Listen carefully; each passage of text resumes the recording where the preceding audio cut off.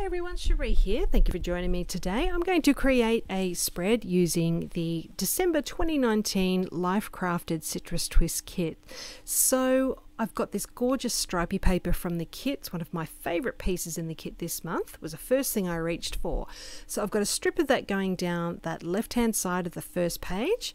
I've got that blue pattern paper from the kit as my second page and I'm using more of that stripy paper to mat my photo. So I'm just adding that photo to that striped piece and for some reason I have trouble getting this centered so I'm just fiddling around making a few adjustments there trying to get it nice and centered onto that pretty paper and now I'm going to grab my sewing machine and I'm going to stitch down that strip on the left hand side. I'll stitch a border around that blue page and I'm also going to stitch across the top and bottom of that photo. So you can see there that's now done, just adding a little bit of texture to the page using that stitching. So next up I've got this stamp to go on and it says for the love of. This is forming the first part of my title. And you can see there I've got the letter stickers already chosen to make the word pancakes. So this was about uh, one particular day Riley uh, was feeling like he needed a snack, and all of a sudden he was making pancakes, which he's never done before. So that's something I wanted to document. Alright, so I've got that stamped piece going on there with the letter stickers. I'm going to have them going up the side of that first page because I do have those two smaller photos I want to add to the page as well. So I'm just working out whether I want that stamped piece to go onto the striped piece or just onto that white background and I do end up just adding it to the white background there. So that's stuck down just with some double-sided tape. Now I'm going to grab my T-square ruler and stick those letters down. So the ruler is just going to help me get that title centered onto the page and then it'll also help me to keep those letters nice and straight as I'm sticking them down. Alright, so the title's now in place, but I'm also going to grab my sewing machine and stitch along both the letter stickers and that stamped piece. So by adding that stitching, it's just adding a little bit of interest, but will also help to keep those letter stickers in place as time goes on as well. Alright, so my two smaller photos can now go onto the page just got double-sided tape behind those ones. And I'm using my title to work out um, how to center those onto the page. So they're on there now. I can move over to the second page. I've got my journaling block already printed. I've used the typo font one of my favorite fonts to use.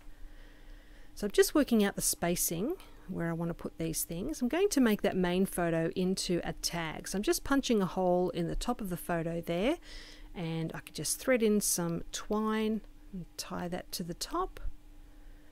Alright, so I'm just working out my spacing now. I'm going to go ahead and stick the photo down, but I do have a couple of other things to go at the bottom of the photo and I've got this die cut piece to go at the top left of the photo as well. So I've got foam dots behind that one and I stick it down and then realize I want it sort of positioned down a little bit more. So you can see I make a little adjustment there shortly. So just moving that down just a fraction.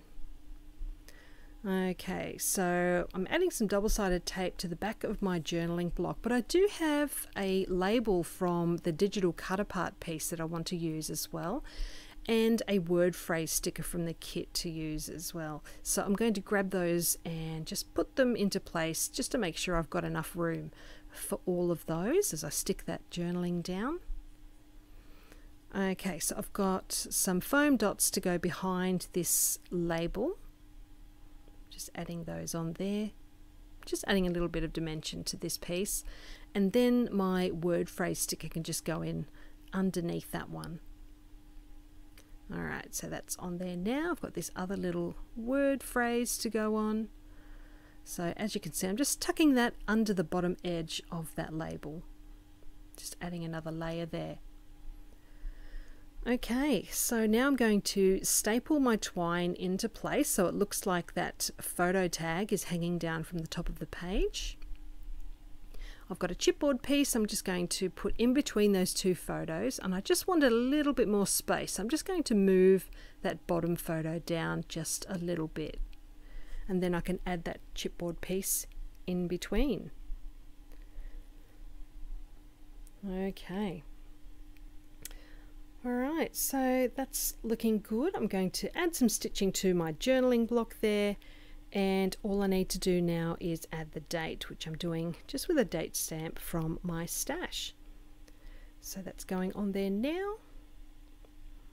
Alright, so I'll uh, give you a closer look. That's not that's all finished now. I can add it to my album. So I hope you've enjoyed seeing how I put this one together. Uh, let me know if you've got any questions. Just pop it in the comments below and I'll get back to you as soon as I can.